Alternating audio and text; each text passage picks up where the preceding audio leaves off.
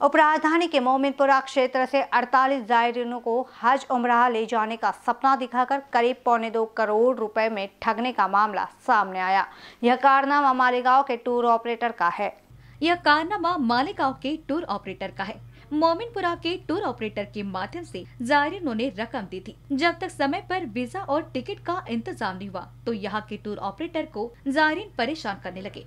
मालेगांव संपर्क साधा किया तो वहाँ की टूर ऑपरेटर ने मोबाइल बंद कर दिया। बाद में पता चला कि वह जायरीनों की रकम लेकर फरार हो गया है। तहसील थाने में प्रकरण दर्ज किया गया। इसके बाद पुलिस हरकत में आई। कई बार दबिश देने के बाद गुरुवार को पुलिस को सफलता मिली है। मालेगांव से उसे गिरफ़्तार कर पुलिस नागपुर ले आई है।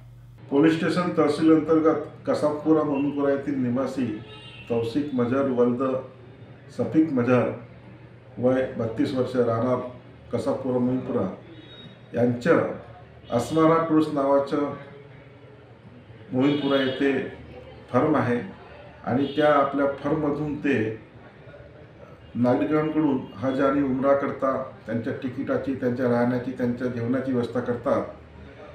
दोन हजार सोळापासून त्यांचा व्यवसाय सुरू आहे.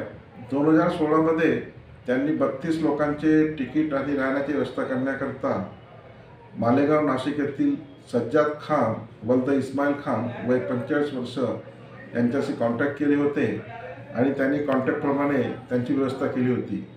अशा प्रकारे फिर्यादीचा सज्जाद खान वल्द इस्माईल खान यांच्यावर विश्वास बसल्याने सन दोन हजार सतरा ते दोन हजार एकोणीसच्या दरम्यान एकूण अठ्ठेचाळीस लोकांकडून हज उमरा जाण्याकरता तिकीट राहण्याची व्यवस्था, प्रवास आणि इतर सोयीकरता एक कोटी त्र्याहत्तर लाख चोवीस हज़ार रुपये होते.